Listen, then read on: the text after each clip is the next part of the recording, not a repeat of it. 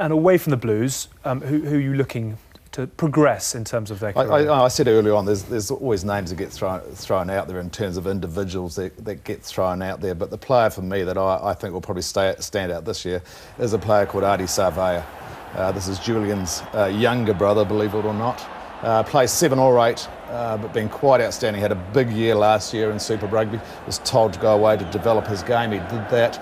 He, he uh, was honoured with an apprenticeship, which I've, I've, never heard of before. Whether that's a good thing or a bad thing on the on the All Black tour. And, and he would have learned a lot. So the All Blacks are investing a lot of time and money into him. Steve Hansen thinks he's the, the ultimate backup, possibly after Sam Cane uh, for Richie McCaw. Yeah. So, so who knows? 2015 maybe.